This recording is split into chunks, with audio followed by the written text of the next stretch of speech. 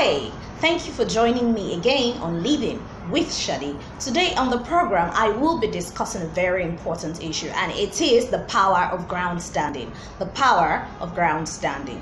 Ground standing, what does it mean? Ground standing means to maintain one's position against an attack, to refuse to compromise, to be unyielding, to just stand your ground and say, I am no way I am caving in, not to crack. You know, there's some times that you want to do and initiate some agendas that people view myopically. When they view it myopically, you're coming with a change plan and you feel that the way we are doing this thing, the conventional way we're doing this thing, is not right. We need to change. We need to move forward. That process of change takes a long time takes a long time to bring all stakeholders on board, to get all hands on deck, to get people to believe in what you believe in. To sell this idea to people, you need a lot of effort, and it is not a day's job. You need to understand that Rome wasn't built in a day, but then what keeps you going is your power to ground stand because there will be oppositions oppositions will come from every angle you know it's just like something that is against the norm it is not a culture that they have practiced it's a new thing you're bringing on board and who says that people will not attack you. Let's say in a country where it is not believed just like malala she was a ground stander and eventually today she had so she had it changed. She that her efforts eventually paid in her country. Malala was somebody who was against the fact that women are not supposed to be educated. And she stood her ground. She was shot for it. She was shot for it, and it was only God that sustained her life because probably the cause that she was fighting for was a rare one, and it was a good thing you know, a lot of people in that country were against it, but they were not strong enough to stand up and voice out for the voiceless. But she was strong. She was a woman, but yet she was fearless and she stood her ground. Even in the face and attack of the military, heavy military. You know what it means to be in Arabian countries, those Asian countries. You know, it's like the belief it's a strong Islamic state, and to penetrate these states, it means that you need to have had a strong and you know strong spirit and determination to go for what you wanted. And that was what malala you know displayed. And eventually they caved.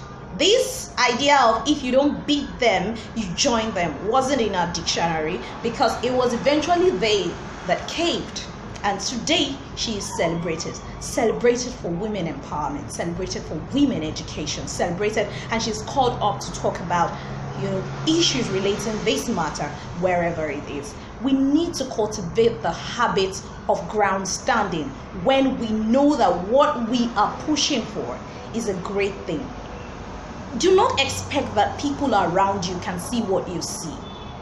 You know, you should not be afraid and you should not be scared just like an eagle to soar alone high, high, high, high up there in the sky. Because the eagle is a lone bird and it is still strong and its fierceness and its power is in it. So you should not be scared to be alone, to, to be alone in a struggle. You should not be scared to understand that only you can see that better thing that they are not seeing. It is not their fault because that is the way of life they have come to accept eventually.